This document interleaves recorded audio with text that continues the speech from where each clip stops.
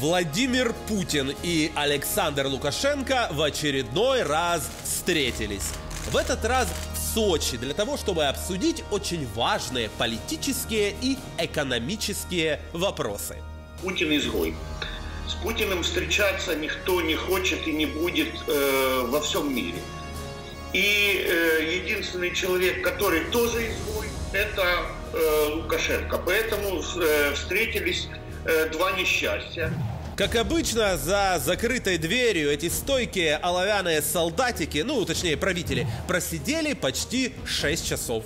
Действительно, для того, чтобы русскому народу показать, что дед здоров. Вот. А э, Лукашенко э, тоже надо белорусскому народу показать, что и этот дед здоров. По словам экспертов, анонсировали лидеры России и Беларуси одни темы, а вот за закрытой дверью на самом деле общались о наболевшем. Единственное, что нужно Путину от Лукашенко, это чтобы Лукашенко тоже начал воевать. Э, армией Беларуси. Единственное, что нужно Лукашенко в данной ситуации, это не начать воевать. А для широкой публики Путин и Лукашенко, как водится, сделали заявление. И, конечно же, эти два изгоя цивилизованного мира, зная, что рядом с ними только представители пропагандистских СМИ, начали высказывать собственную точку зрения на происходящее в их государствах. Неожиданные вещи происходят, но это для них неожиданное. Мы-то ожидали, что это будет. Это время возможностей. И они, сами не понимая того, Запад, нас подтолкнули заниматься более интенсивно своей экономикой. По словам диктаторов, война против Украины не то что не повлияла в худшую сторону на экономику России и Беларуси, а скорее наоборот, там практически расцвет благосостояния граждан. Российская экономика удар санкционный выдерживает, выдерживает весьма достойно. Это, об этом говорят все основные макроэкономические показатели. Экономика в России и вообще у нас в Союзе не просто укрепляется, а неожиданно интенсивно укрепляется. Возьмите инфляцию, возьмите безработицу, она оказалась меньше э, падает уровень безработицы. Это, да, это хорошо. А, ну и рубль укрепляется бешеными темпами. Кстати говоря, переход э, в торговле с нашими партнерами на национальную валюту, на рубли, э, дает себя, о себе тоже знать. И это способствует укреплению рубля. Мы выйдем по основным моментам, где у нас не хватает комплектующих и прочее, на хорошее импортозамещение. Вот только такие заявления точно подтверждают информацию журналистов о том, что Путин серьезно болен, как минимум склерозом. Ведь еще буквально месяц назад он говорил совершенно другое. В новых реалиях потребуются глубокие структурные изменения нашей экономики. И не буду скрывать, они будут непростыми приведут к временному росту инфляции и безработицы. Понимаю, что э, серьезно бьет по доходам людей рост цен. Поэтому в ближайшее время примем решение по увеличению всех социальных выплат. Люди э, все-таки вертят деньги в пальцах, они же видят реальность.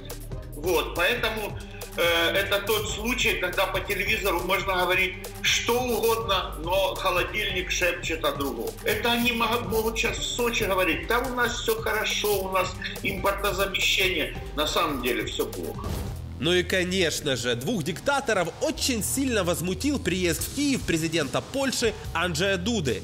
Настолько возмутил, что Лукашенко тут же начал строить свои теории заговора.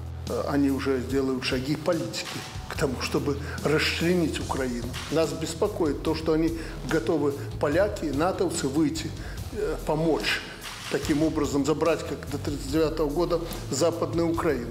Нас это настораживает не только с точки зрения сегодняшней безопасности, это их стратегия и по Западной Беларуси. Поэтому мы ухо востро держим. И, как я говорил, еще украинцам придется нас просить, чтобы мы э, не допустили вот отрыва этой западной части и других частей от Украины. Видимо, вот такие вот фразочки – это главный конек самопровозглашенного диктатора Лукашенко.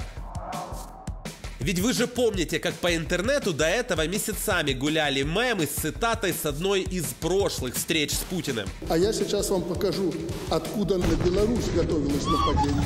И если бы за 6 часов до операции не был нанесен превентивный удар по позиции, четыре позиции, я сейчас покажу карту привез, и, конечно же, диктаторы изо всех сил старались показать уверенность, что в России и в Беларуси все отлично, а вот на Западе, наоборот, плохо. И даже пытались шутить.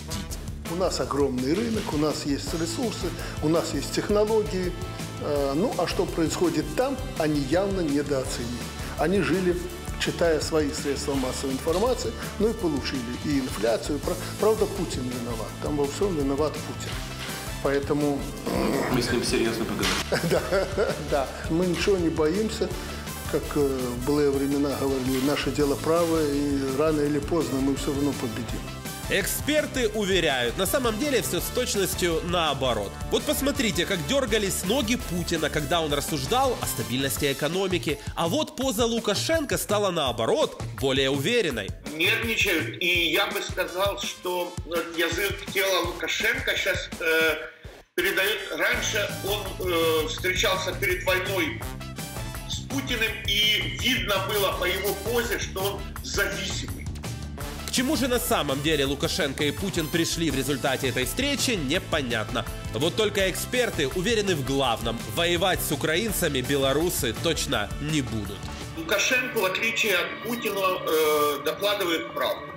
А правда в том, что 92% населения Беларуси не хочет быть втянутым в эту войну на э, стороне Путина.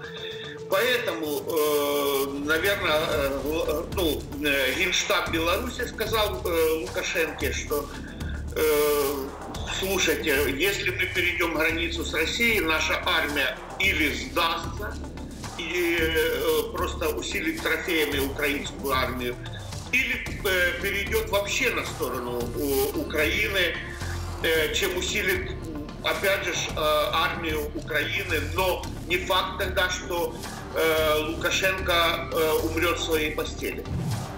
Можно встречаться бесконечное количество раз и что-то обсуждать бесчисленное количество часов.